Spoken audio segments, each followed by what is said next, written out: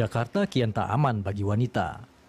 Kasus kekerasan yang menyebabkan kematian telah terjadi 17 kali di wilayah kepolisian Polda Metro Jaya.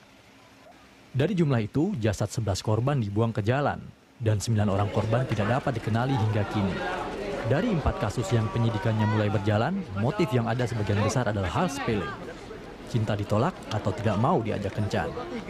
Pelaku kekerasan seperti biasa adalah orang dekat korban. Mengapa hal ini semakin sering terjadi? Tampaknya keamanan di kota besar seperti Jakarta memang semakin mahal harganya. Terlebih bagi seorang wanita.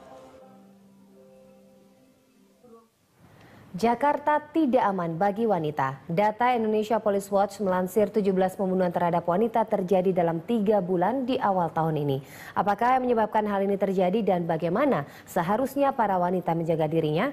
Bersama kami di studio telah hadir aktivis wanita Wulan Danukusomo dan kriminolog UI Anggi Aulina Harahap. Saya langsung ke Mbak Wulan. Sebegitu parahkah tingkat keamanan di Jakarta Mbak untuk wanita? Anda melihatnya? Um, dari tadi yang data sudah Mbak Nova sampaikan itu bisa kita bilang sebenarnya itu hanya tip of the iceberg ya. Hmm. Beberapa kasus yang berhasil terhighlight karena mungkin terjadi dalam runtutan waktu yang lumayan dekat. Hmm. Tapi sebenarnya di luar sana kalau kita mau jujur jauh lebih banyak. Hmm. Um, seperti misalnya kita tahu kebetulan saya bekerja di area uh, penanganan dan pendampingan kekerasan seksual, data yang kami gunakan adalah data Komnas Perempuan yang selalu mengatakan bahwa dalam satu hari itu bisa 10 sampai 20 kasus kekerasan hmm. seksual yang terjadi. Yeah. Dengan catatan itu yang dilaporkan ya Mbak Nova yeah. ya. Sayangnya sering kali uh, dalam beberapa dalam banyak kasus malah yang saya hmm. temui dan kami dampingi di Lentera Indonesia itu mereka adalah uh, korban kekerasan seksual di masa kecil misalnya yang ah, baru datang uh, berbagi kepada kami setelah 15 20 tahun. Hmm. Itu artinya mereka adalah kasus-kasus yang tidak terlaporkan, hmm. kasus-kasus yang undetected dan bisa dibayangkan jauh lebih banyak lagi yeah. yang iya. seperti itu di luar sana. Oke, Mbak Anggi, Anda melihatnya ini uh, memang sebegitu mengancam begitu uh, kota Jakarta atau mungkin juga kota-kota lain, tetapi ini kita fokus ke Jakarta dulu yeah. untuk uh, lingkungan sekarang itu untuk wanita atau untuk anak-anak bahkan tadi yang sudah disampaikan oleh Mbak Wulan begitu. Iya betul. Jadi memang dalam uh, teori kriminologi ya kita lihat memang ada klasifikasi terhadap kelompok yang mempunyai vulnerability atau kerentanan yang lebih hmm. tinggi dibanding kelompok yang lainnya. Hmm. Nah, perempuan termasuk di dalam salah satu daripada kelompok ini, yeah. termasuk juga anak-anak, orang lanjut usia, kemudian kelompok minoritas dan uh, gay dan lain sebagainya hmm. gitu. Nah, mereka adalah orang-orang yang memang rentan. Namun hmm. rentan ini juga didukung oleh beberapa faktor yang ada di dalam masyarakat itu gitu sehingga hmm. uh, kekerasan terhadap wanita ini kemudian uh, kepada perempuan dan kepada yang lainnya itu bisa bisa mungkin terjadi hmm. gitu.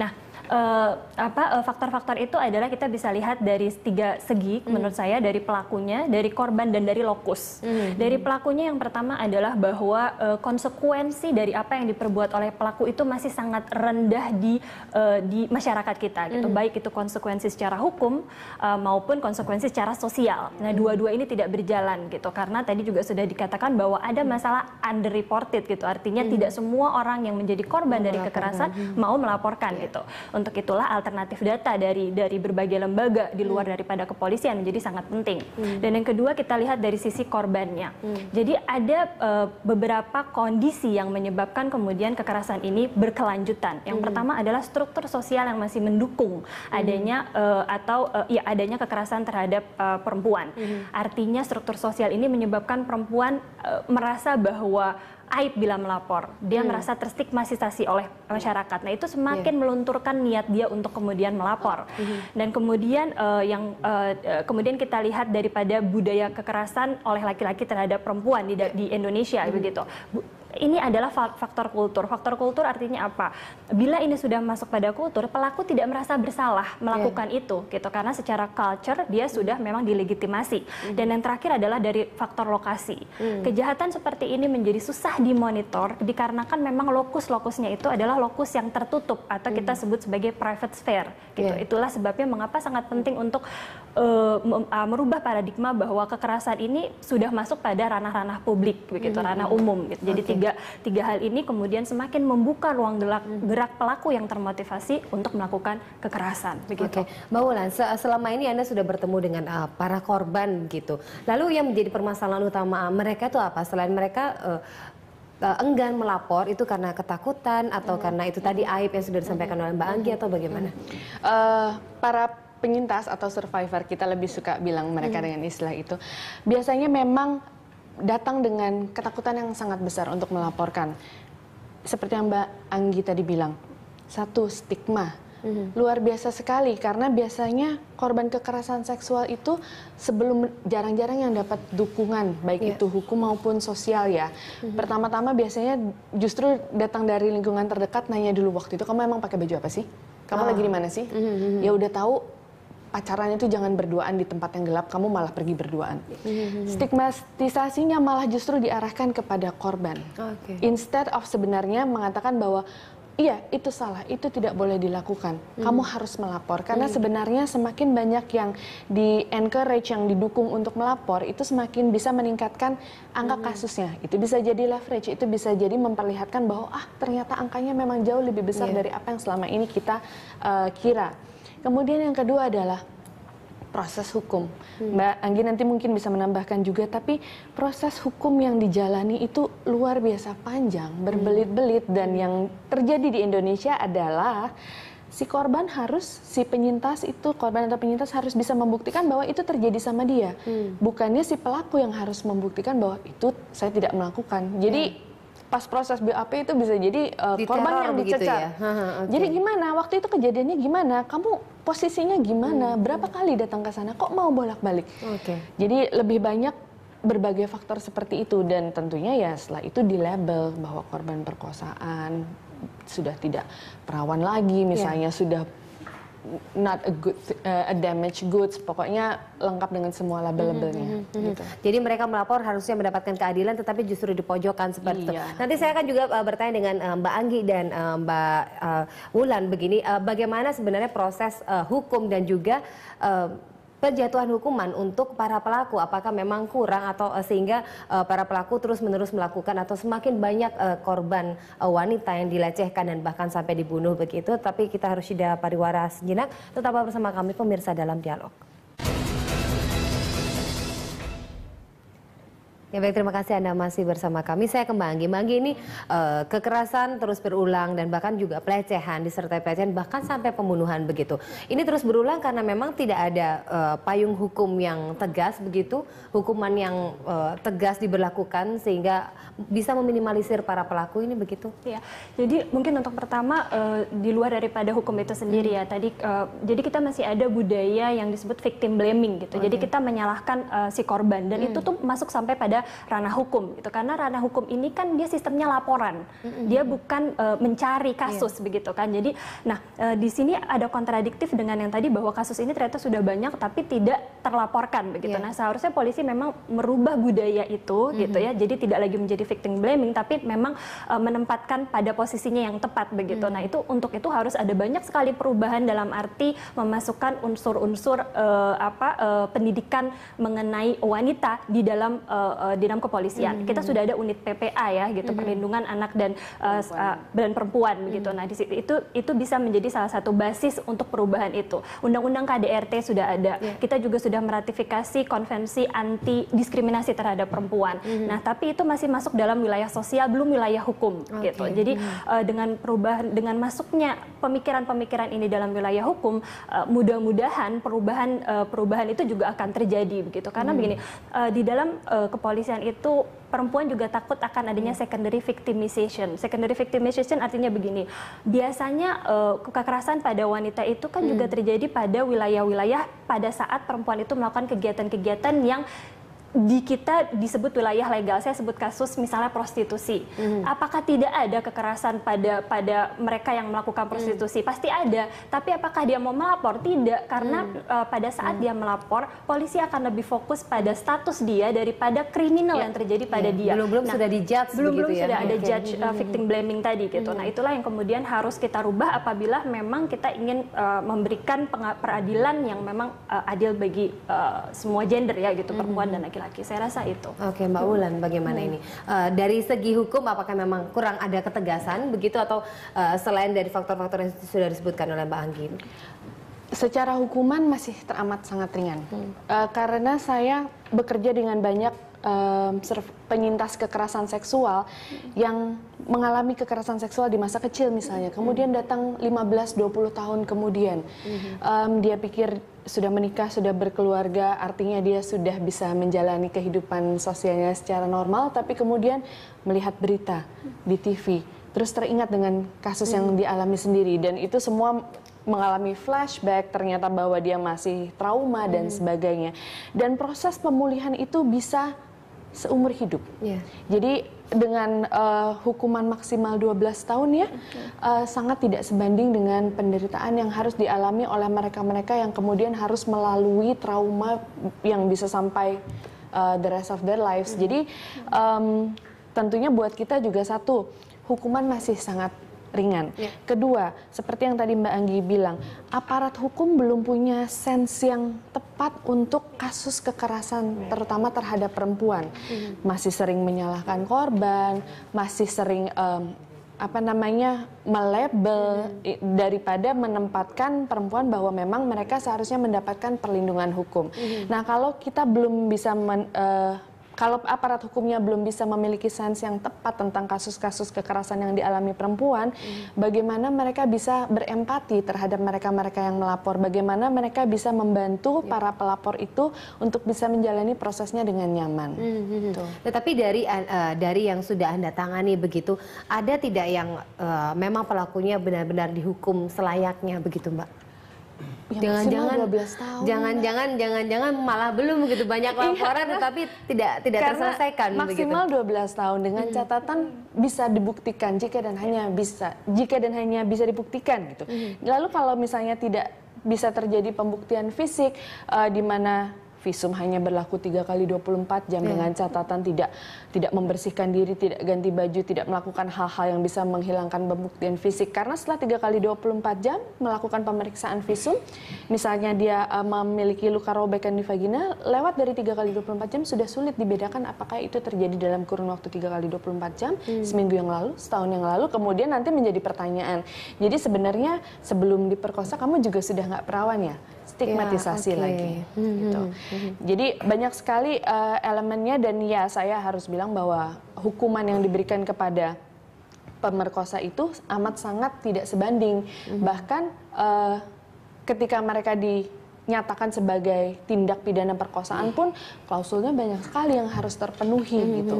Jadi sangat tidak menguntungkan untuk para korban yang melapor. Oke, Mbak Anggi, Anda senada tidak dengan uh, klausul-klausul dari pasal-pasal uh, uh, lalu tata cara pemeriksaan sampai uh, bertanya kepada korban itu yang justru memojokkan sehingga korban justru uh, ya sudahlah nggak usah melapor begitu. Mungkin uh, tadi sebelumnya saya mungkin ingin uh, melanjutkan ya gitu. Uh, jadi uh, ada masalah memang bahwa uh, apa namanya?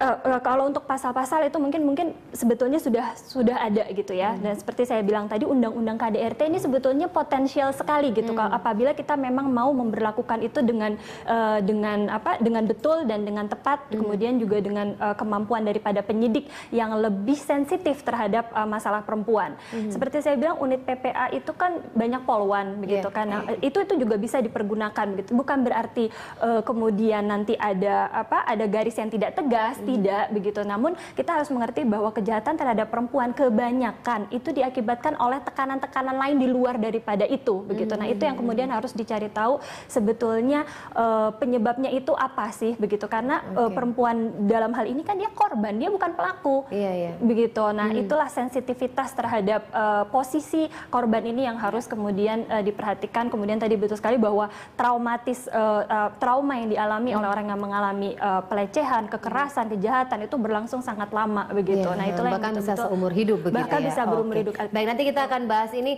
uh, bagaimana seharusnya solusi yang bisa dilakukan untuk uh, para korban ini dan juga menindak para pelaku supaya tidak uh, tidak ada pelaku-pelaku yang lain. Kita bahas sesaat lagi setelah jeda pada waktu tetap bersama kami pemirsa dalam dialog. Nah, terima kasih Anda masih bersama kami. Saya ke Mbak Wulan. Mbak Wulan, ini uh, banyak sekali para korban yang akhirnya mungkin mm, putus di tengah jalan begitu ketika melapor karena dengan rumitnya uh, apa proses di polisi begitu dan tidak sensitifnya uh, para petugas untuk menanyai apakah memang harus ada petugas khusus mungkin uh, psikolog atau psikiater gitu sehingga bisa lebih uh, apa membawa korban dalam situasi yang lebih nyaman pada saat melaporkan atau bagaimana Mbak untuk solusinya? Alangkah baiknya kalau misalnya memang mereka-mereka uh, yang melapor mendapatkan pendampingan dari konselor atau dari uh, psikolog jadi membantu membuat menciptakan suasana yang lebih nyaman. Hmm. Tapi kan itu versi idealnya. Yeah. Seandainya tidak, alangkah baiknya juga apabila um, aparat penegak hukumnya sendiri bisa diikut sertakan dalam berbagai pelatihan yang hmm. sifatnya meningkatkan awareness, melatih hmm. empati karena setahu saya di uh, kepolisian itu ada sebuah unit yang namanya UPPA, Unit Perlindungan Perempuan dan Anak. Hmm. Namun sering kali itu hanya menjadi sebuah ya kalau kasus kekerasan terhadap perempuan masuk ke situ. Yeah. Not necessarily uh, petugas-petugas yang ada di sana memang punya kemampuan empati dan punya kapasitas untuk tahu misalnya kapan harus berhenti kayaknya yeah. yang lapor lagi mau nangis. Kasihan juga nih kalau dipaksa. Hmm itu memang kelihatannya sederhana ya, tapi dengan dia berhenti menghentikan proses BAP sebentar saja untuk membiarkan si pelapornya menenangkan diri, mm. itu sudah menunjukkan sebuah skill yang lebih tinggi bahwa yeah. uh, aparat penegak hukum punya sensitivitas bahwa ini bukanlah suatu hal yang mudah mm. untuk hmm. dilaporkan mm -hmm. dan um, sering kali banyak orang yang sudah menjalani proses kemudian mengalami trauma lagi dengan proses mm. hukumnya sendiri dan akhirnya malah mundur, mm-hmm. tidak memilih untuk tidak menyelesaikan proses hukumnya dan akhirnya pelakunya bisa bebas. Mm-hmm. Padahal bayangkan sekali ada pelaku yang bebas, berarti dia sedang kita sedang memberikan kesempatan kepada dia untuk melakukan mencari, tindakan melakukan yang lain tindakan, korban berikutnya iya, begitu. Iya, betul sekali. Okay. Mbak Anggi. Ya, betul menyambung tadi bahwa untuk pelaku memang kita harus mencoba untuk mempersempit uh, ruang uh, kesempatan atau hmm. ruang gerak dia untuk melakukan kekerasan pada wanita. Nah, selama ini kita sering uh, kebobolan dikarenakan satu hal. Tadi uh, saya sambung yang tadi adalah bahwa dari segi pengungkapan kasus, saksi itu menjadi penting. Sedangkan hmm. uh, pada awal saya sudah bilang bahwa kejahatan seperti ini sulit dimonitor yeah. karena ini terjadi pada lingkup yang tertutup yeah. dan iya. komunitas yang kecil. Nah, ini kan ada kontradiksi sehingga menurut saya solusi yang paling tepat untuk saat ini secara secara formal itu ada dua yaitu dari hukum itu hmm. memang harus uh, apa artinya begitu sudah terbukti hukumannya pun harus memang uh, sesuai ya yeah. efek deterrensnya ada dan kemudian daripada negara ayo kita mempercepat emansipasi terhadap wanita dalam arti hmm. bahwa uh, apa uh, uh, dalam arti pendidikan dan uh, sosial begitu hmm. jadi uh, kita berikan kepada mereka memang uh, sebuah uh, apa uh, sebuah uh, kepercayaan diri gitu hmm. dalam uh, apa dalam kemudian sehingga mereka bisa uh, merasa cukup uh, kuat untuk kemudian melapor begitu. Nah, hmm. karena pemberdayaan korban ini sangat penting. Hmm. Satu karena yang tadi itu masalah saksi yeah. gitu. Nah, hmm, okay. begitu Kalau Mbak Wulan dari pemerintah sendiri sebenarnya hmm. uh, menurut Anda masih kurang atau cukup atau bahkan uh, jauh uh, jauh dari apa dari batas uh, kewajaran begitu untuk uh, melindungi gitu, melindungi uh, para calon korban atau enggak uh, wanita begitu.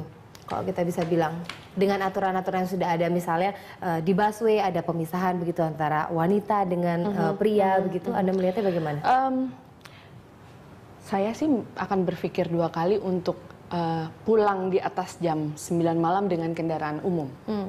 Karena saya tidak bisa meyakinkan bahwa situasinya aman. Hmm dan bahwa kalau misalnya terjadi sesuatu yang tidak diinginkan, saya akan bisa dapat perlindungan hukum yang segera hmm. dan uh, ya.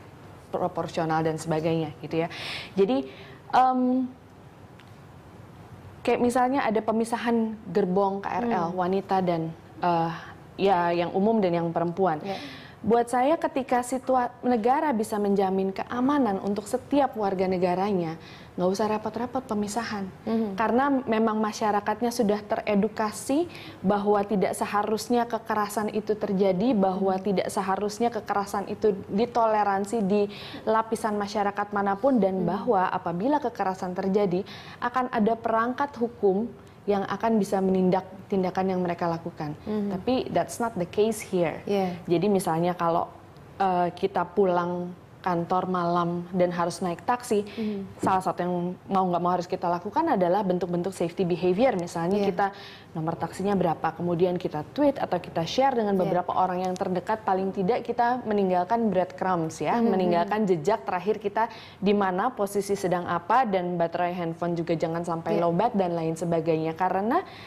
that's the best we can do for now. Yeah, Di yeah. sini mau nelfon 911 polisinya nyampainya kapan? Yeah, Seperti itu.